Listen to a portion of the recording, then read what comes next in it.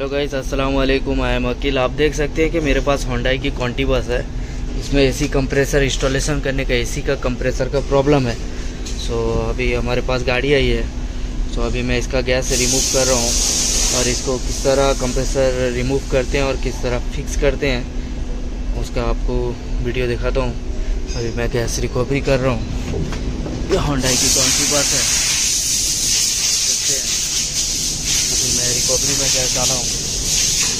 इस तरह का कंप्रेसर रिमूव करता हूँ कंप्रेसर कैसा फिक्स करते हैं, आपको वीडियो में तो गाइस देख सकते हैं, अभी मैं इसका कंप्रेसर खोलने वाला हूँ। कंप्रेसर खोलने के लिए मैं टूल्स लेके आया हूँ। टूल्स आपको 10 का 12 का टीप आना लगेगा और सब साइड 17 का साइड रेचिट और वन साइड 12 का और 14 का भी वन साइड टूल्स लगेगा बस इतना टूल्स रहेगा तो आपका कंप्रेसर रिमूव हो जाएगा। अभी ये 12 का और ये मैं बारह का दो टीप आने से खोलेंगे और इसको निकालने के लिए कपलर यहाँ से इजी प्रेस करो तो कपलर रिमूव हो जाएगा। और बेल्ट रिमूव करने के लिए आपको वहाँ पे सत्रह का एक बोल्ट है नट है, उसको लूज करने का और बारह का साइड में दिख रहा होगा आपको। बारह का साइड में एडजस्टेबल है जो बेल्ट को लूज करने के लिए। तो ऐसे करके ऐसा है रिमूव होता है बेल्ट और इसका कंप्रेसर का प्रॉब्लम था कंप्रेसर में पंपिंग नहीं था।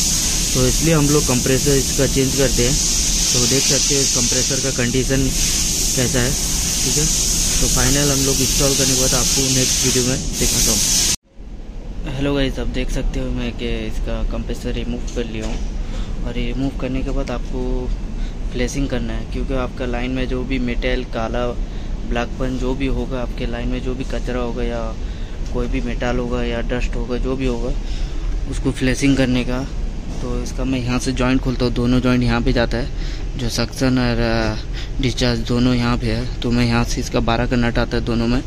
सो मैं इसको डिसकनेक्ट करने के बाद इसको मैं फ्लेसिंग करता हूँ, फिर यहाँ से एबोबरेटर पूरा लाइन फ्लेसिंग करता हूँ। उसके बाद फाइनल आपको दिखाता हूँ। गाड़ी किस तरह बस इसको इजीली यहाँ से काटा बोल्ट आता है, एक इधर आता है, एक इधर आता है दोनों। तो इसको रिमूव करके मैं बाहर पाइप लेके सफ़ाई करके फिर सेम सेम करके फिट कर देने का।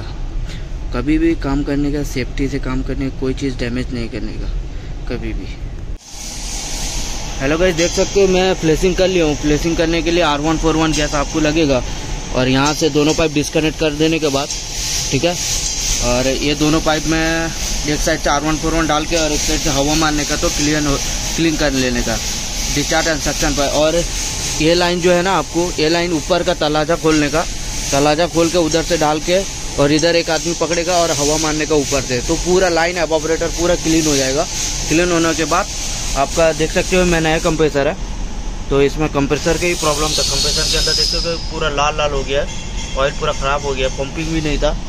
तो अभी हम लोग नया कंप्रेसर डालते हैं और गाड़ी फाइनल रेडी करके फिट करके रेडी करके आपको दिखाता हूँ, किस तरह मेरा कूलिंग का कंडीशन है।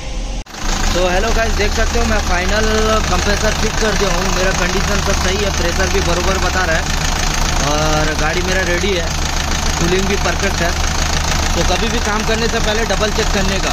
मैं आपको वीडियो में हर बार बताता हूँ, कोई भी छोटा सा काम करने के लिए डबल चेक करने का कि गाड़ी में कोई प्रॉब्लम है या नहीं, या आपका लीकेज है या नहीं, जहाँ जहाँ सिस्टम में आपका ओपन किया हो पाइप का ओरिंग ये सब बराबर चेक करने का कंप्रेसर चेक करने का नट बोल्ट लूज है या नहीं। वो बराबर चेक करने का। तो देख सकते हो फाइनल में मेरा गाड़ी रेडी है। तो जहाँ जहाँ मैं खोला था, वहाँ पे मैं पानी मार के शैम्पू पानी मार के चेक किया। वहाँ पे बराबर है। आप देख सकते हो, कहीं पे प्रॉब्लम नहीं है। तो मेरा गाड़ी रेडी है, अब फाइनल हो गया है। तो मैं कस्टमर को अभी डिलीवर कर दूँगा गाड़ी। Okay thank you and like and subscribe